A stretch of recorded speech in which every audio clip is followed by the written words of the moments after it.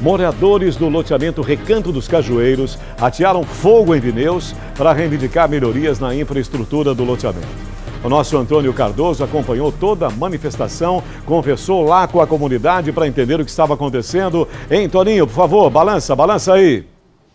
A bronca é grande, como vocês podem ver, o protesto começou aqui por volta das 6 horas da manhã. Eles pretendem ficar aqui durante a manhã para chamar a atenção do público sobre os problemas no Recanto dos Cajueiros, Zona Sul de Aracaju, bairro Santa Maria. Quem está conosco aqui é o Regis, que é morador do local. Ô Regis, quais são as reivindicações que vocês estão fazendo aqui hoje? A nossa reivindicação aqui hoje é o seguinte, gente, aqui o saneamento básico está precário mesmo.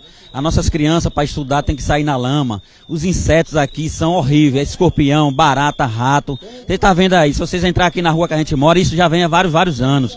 Aí os políticos prometem que no próximo ano vai fazer, vai fazer, tá vendo projetos para isso aqui, mas até agora a nossa luta continua, vamos, não vamos parar e continua sempre aí na lamas, ratos, barata, a nossa população está sofrendo. Dona Ivanilda, a senhora mora aqui no Recanto dos Cajueiros. Qual é o principal problema de vocês aqui? É quando chove, fica aquela lameira toda, é escorpião aparece, é, é rato, é tudo enfim, o que não presta. Tudo. Então a gente precisamos de algo, de limpeza, de tudo que precisa aqui, é? Vocês querem alguma resposta? Quer que alguém venha olhar para vocês? É claro, tem uma resposta.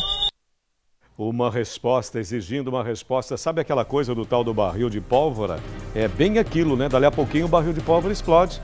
E aí, essa insatisfação coletiva, ela vai não crescendo, ela vai crescendo, ela vai se retroalimentando dessa indignação e vai chegando a esse ponto insuportável, absolutamente insuportável, na medida em que a gente pensa o seguinte: eu sempre imagino, vai lá a autoridade morar, a autoridade precisa sentir na pele, esse que é o grande erro, essa elite política que fica ali, né? E fica nos altos, só observando com todo o seu poder, com toda a sua manipulação, não vai até o povo, não vai entender o clamor do povo. Eu sinto falta, gente, dessas autoridades lá. Por que, que elas não botam a cara lá? Não botam a cara para entender o que está acontecendo? Diga, meu povo, o que está acontecendo.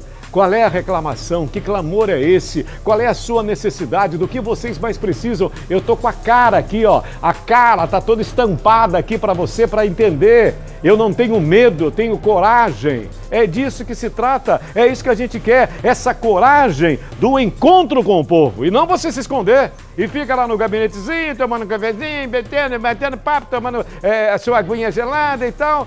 É assim que se faz política? Não é assim que se faz política. Você tem que ir a um encontro do povo. Você não foi eleito pelo povo? No meio de nota, a EMUB, Empresa Municipal de Obras e Urbanização, informa que o projeto de infraestrutura do Recanto dos Cajueiros está pronto. E aí?